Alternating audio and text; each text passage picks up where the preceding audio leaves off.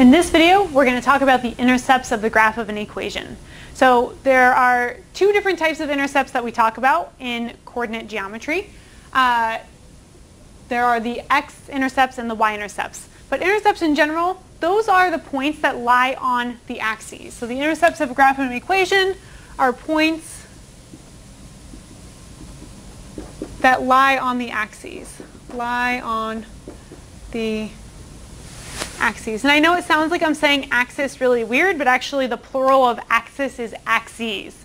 I don't know what language that got derived from where you switch the I to an E and that makes it plural, but that's the case. So the intercepts, those are the points that lie on the axes. In our geometry, we have two types of intercepts. We have x-intercepts. So x-intercepts of a graph are the uh, points that lie on the x-axis. Points that lie on the x-axis. All x-intercepts have something in common. They all have a common y-coordinate. If you think about a graph, where are our x-intercepts? Well, they're here and here and here and here and here. All of those have a common y-coordinate. Their common y-coordinate is 0. So all x-intercepts are of the form, points that lie on the, and of the form They're all of the form a comma 0. So we have some value that uh, for our x-coordinate, but the y-coordinate is always 0. If you're asked to find the x-intercepts of a graph and you're given its equation, uh, what that means is that you can substitute in 0 for y and then solve for x. So if you're asked to find the x-intercepts of an equation, plug in 0 for y, set y equal to 0, and then solve for x. The other type of intercept that we're going to talk about is the y-intercept of a graph. And the y-intercepts of a graph, those are points that lie on the y-axis. Points that lie on the y-axis. So if we go back to my makeshift graph over here, points that lie on the y-axis, there could be here or here, here or here or up there. Uh, all of those points have something in common. All of those points have the same x-coordinate. So we can say that any y-intercept is of the form uh, 0 comma b. That would be how uh, any y-intercept would be of the form 0 comma b.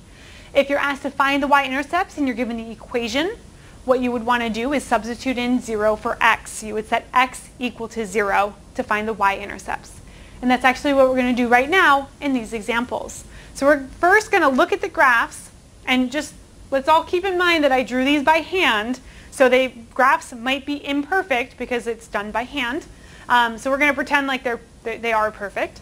Uh, we're going to estimate what the x and y coordinates of the graph are, and then we're going to verify algebraically. So we're going to eyeball it, and then we're going to see how well our eyeballs really do work. Our first example, we have y equals 2x minus 4. So if we're looking for our x-intercept, where does this line cross the x-axis? It looks like right here at the point 2 comma 0. So we think, we think that that's the x-intercept. We have not verified it yet. We believe the y-intercept is down here at negative 4, so that would be the point 0, negative 4. Now to check each one algebraically, that means we're actually going to use the thing that I kept repeating over and over again to verify. So if we're going to find an x, abbreviate to x int, what that means is that we're going to substitute in 0 for y. All x-intercepts have a y-coordinate of 0. When we plug in 0 for y, we get 0 equals 2x minus 4. Now we want to get x by itself, so first I'm going to add 4 to both sides.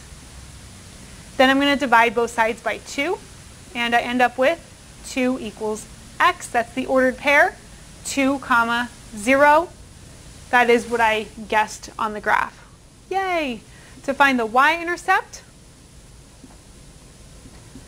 that means that we're going to substitute in uh, 0 for x. So in this case, we go back to our original equation, y equals 2 times 0 minus 4.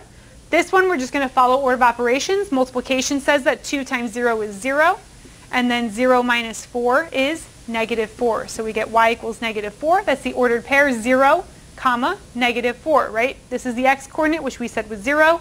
y is negative 4, that is what we had over here. So the graph does match the algebra. In our next example, we're given an absolute value equation. Um, if we eyeball our x-intercepts, it looks like there's one right here at 1, 0. It looks like there's another x-intercept. We have two x-intercepts. This one appears to be at 5, 1, 2, 3, 4, 5, comma 0. And we have one y-intercept where the graph crosses the y-axis here at 0, 1. We want to verify that uh, the graph does represent the actual numbers that we came up with. So to find the x-intercepts, how do we find x-intercepts? We plug in 0 for y. So we say y equals 0. We get 0 equals the absolute value of x minus 3 minus 2. Okay, this is an absolute value equation for absolute value. First thing we want to do, get the absolute value by itself. I'm going to add 2 to both sides. 2 equals the absolute value of x minus 3. Since the absolute value is equal to something positive, that indicates to us that there are two cases to consider. That means that inside the absolute value could equal to itself, or inside the absolute value could be equal to negative 2. We're going to set up our two cases and solve each one separately. So here we're going to add 3 to both sides. We're going to get x equals 5. Over here we're going to add 3 to both sides. We're going to get x equals 1. Oh, so there's our two x-intercepts. This one's at 5, 0, which is right there. This one is at 1, 0, which is right here. That was the x-intercepts. The next thing it asks us to do is find the y-intercept. The good news about this one is that it will be less work than what we see, so I'm just going to come over here and just write it right here in quadrant 3. So to find the y-intercept, what that means is that we need to substitute in 0 for x, so we're going to say x equals 0. That will give us y equals the absolute value of 0 minus 3 minus 2. 0 minus 3 is negative 3. The absolute value of negative 3 is 3.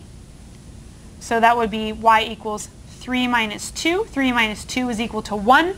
So we have a y-intercept at 0, 1. So that does confirm that we did uh, have the graph. We were able to read it right from the graph. In this video, we're going to look at a few more examples of finding the intercepts when we're given the equation and the graph. So first, we're going to look at the graph to see if we can determine the intercepts, the x-intercept and the y-intercept. And then we're going to check algebraically with the equation. Looking at our first graph here, it looks like we have an x-intercept over here. Uh, that's where it crosses the x-axis. Let's see, 1, 2, 3, 4, 5, 6, 7, 8, 9. So that would be the ordered pair 9, 0. And then the y-intercept, it looks like there's one up here at 0, 3, and one down here at 0, negative 3. We're now going to check to see if I'm correct by plugging in to the equation. To find the x-intercept, we plug in 0 for y. We say y equals 0. That would be 0 squared equals 9 minus x. 0 squared is 0. Uh, on the other side, to get x by itself, I need to take away, nope, let's be smart about this. Instead of subtracting 9 from both sides, I could save myself a step by adding x instead.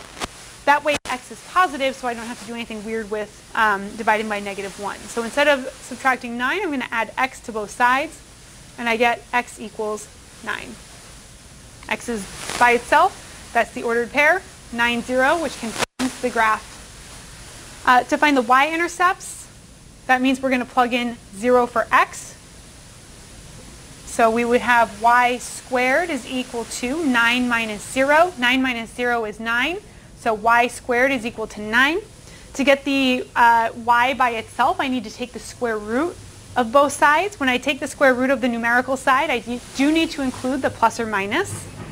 So I would say plus or minus the square root of 9. That would give me y is equal to plus or minus the square root of 9 is 3. So there are two y-intercepts. There is one at positive 3 and there is one at negative 3 as shown in the graph here. So our intercepts do in fact match the graph that we have. Looking at letter D, we have y equals 1 over x plus 3. Looking at our graph, oh, hmm, it appears we don't have an x-intercept. So we're going to say maybe no x-intercept. It, it appears that the graph will never cross the x-axis. So I think maybe perhaps there is no x-intercept. The y-intercept is down here ooh, looks like it could be, it's somewhere in between 0 and 1, closer to 0. Uh, it's going to be 0 and let's just say 0 0.2, 0 0.3, I don't, somewhere in there. So this one isn't necessarily exact, okay? Let's verify these results, or in this case, let's find the exact and let's confirm that there is no x-intercept. If there was an x-intercept, then we would plug in 0 for y. So we would say 0 is equal to 1 divided by x plus 3. This is saying when is this ever going to equal 0? And in fact, it will never equal 0. Um, if you want to confirm this, you can multiply both sides by that denominator to clear out the denominator. Anything multiplied by 0 is 0. We get 0 equals 1. That is just a false statement. That's not true. So that does confirm there's no x-intercept.